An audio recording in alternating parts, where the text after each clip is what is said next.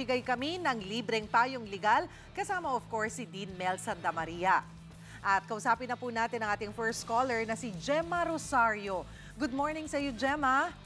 Ah, yes, good morning, ma'am. Ah, tanong ko lang po, ah, regarding po ito sa motorcycle na kinuha namin, namin last, last year, which is payable within three years. But after Oo. one year kasi, nakarnap yung motorcycle namin. Nakarnap. So, anong dapat namin, ah, sa harap ng bahay namin po, so, anong dapat namin gawin dito kung kung mapapwesto, question ko lang po, mapapwesto po ba nila kami na bayaran yung yung balance at anong dapat namin Oo. gawin tungkol dito? Alam nyo, basta't pumasok po kayo sa isang kontrata, iyan ang nagiging batas ng dalawang panig. Di ba? Ang nagtinda at ang bumili. At kung pinirmahan nyo po iyan, ayan na yon. Susundin nyo po iyan, ah, bawat letra niyan susunduin nyo. Ngayon, meron sa batas natin na tinatawag na fortuitous event. Okay, yung ano mga act ito? of God. Okay. Ito yung mga ah, bagay-bagay na makakapag-excuse sa isang obligado na magbayad. Pero itong act of God na ito, dapat hindi walang kahalo ito ng kapabayaan ninyo o walang kahalong pangloloko, walang kahalong pag-aantala.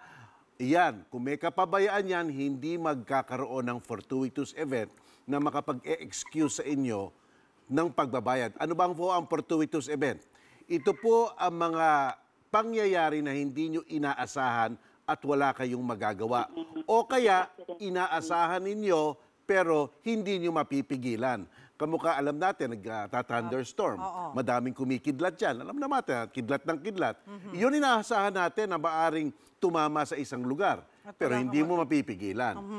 Kasi po yung pagnanakaw, depende po kung saan nyo naiwan yung ah, motorsiklong yan. Saan nyo ba ho iniwan?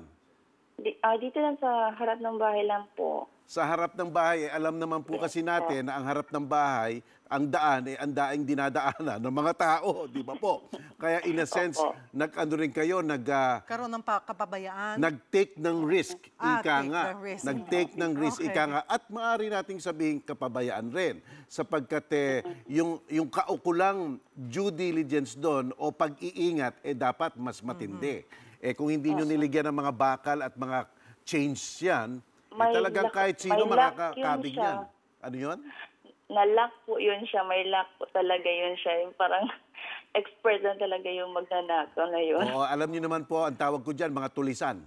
Hanggat, hanggat pinagagalingan nyo ang pag-iingat, ginagalingan nila ang papaano magnakaw. so Kaya- ano nung bang mangyayari doon, ah, Attorney ang, Mel? ang problema po dyan, kung may talagang makikitang kapabayan, hindi kayo makakaligtas sa inyong pananagutan, bayaran yung motorsiglong, inyo na. Oo. Kasi Di, kani- actually, attorney, ah, legally reported by ano yun siya, by by police station and binigyan po namin sila ng kopya nun. Wala hong kasi nga ganun po. Isang pagre-report lang po 'yan, isa, isang ah, ah, isang pagtatala ng nangyari na isang krimen sa isang lugar.